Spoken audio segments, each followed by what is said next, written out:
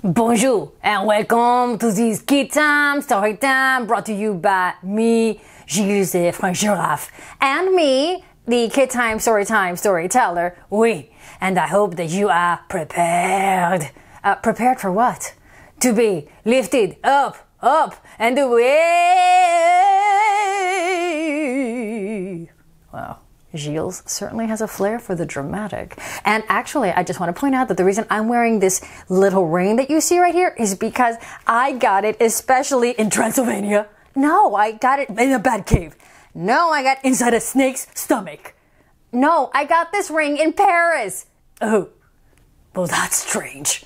I don't even know what you're doing here, Maleficent. Uh, actually, I don't know either.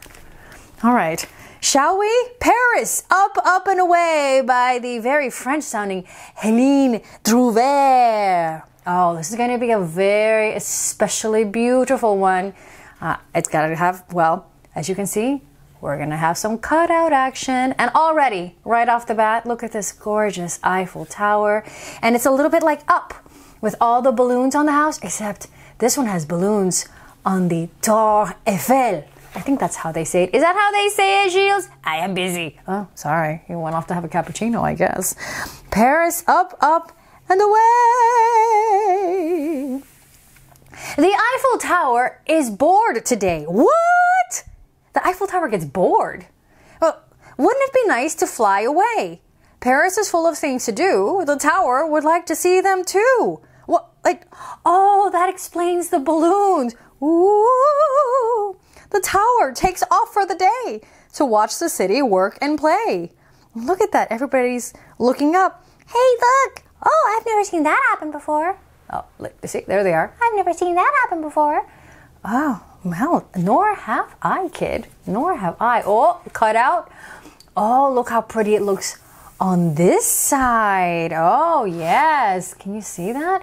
I'm going to open the book a little bit just so you can see all of it. There we go. The tower takes off for the day to watch the city work and play. Goodbye, tower. Goodbye. Oops, I let my balloon go. Ah. Oh, I hate it when that happens. The tower looks down from the sky and sees the river Seine roll by. Ah, yes. The river Seine is the river that cuts through the middle of Paris. And boats go on it, and people sit and stroll along it. They have their lunch next to it. Oh, look at that. And now we see the different angle from here. People walking across over the bridge. And there's this gentleman here playing the accordion. And with the bear. Ah, it passes the bridges and boats below, but the clouds are turning dark. Oh no!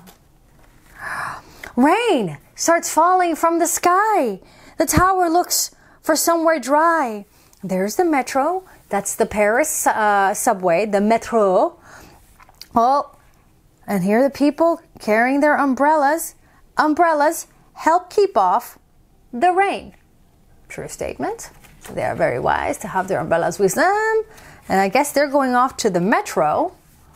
And here, but Paris looks pretty, just the same, even if it's in the rain and there's little old Eiffel just enjoying the refreshing raindrops like a mini shower.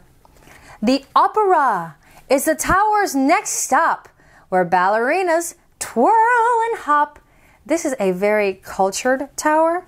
Wanting to go to l'opera. The tower shrinks down. Oh, magic.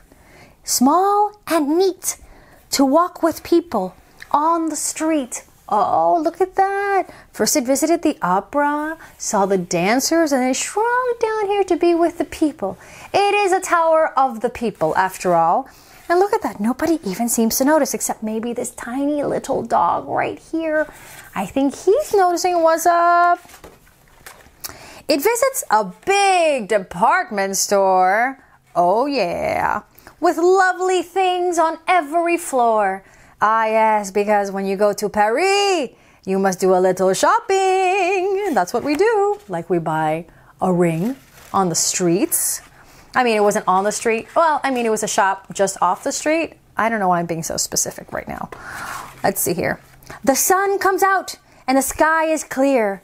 The tower lands in a park that's near. Okay, so we're coming down. And what's happening over here? Oh, look at that beautiful park. While the children play and the birds fly free, the tower snoozes under a tree. Oh, taking a little nap, are we?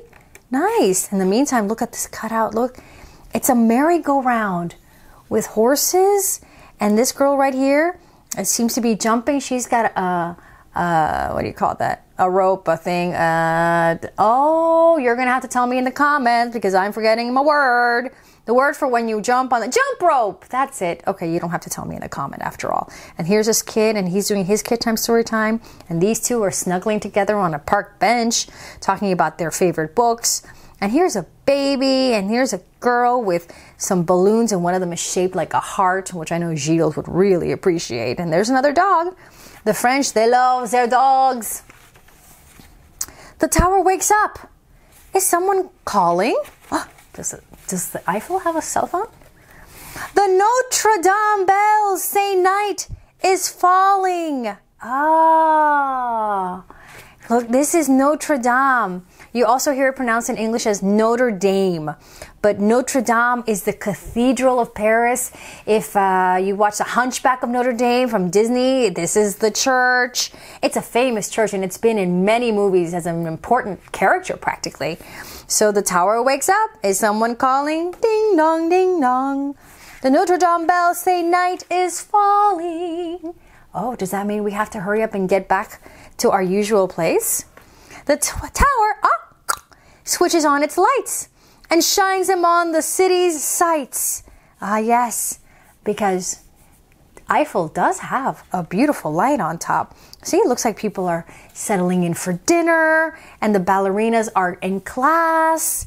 And this fella right here is drawing, drawing at his table. And these kids are, look like they're waiting for dinner to be served. And here's a kitchen and she's playing the piano here. I like that.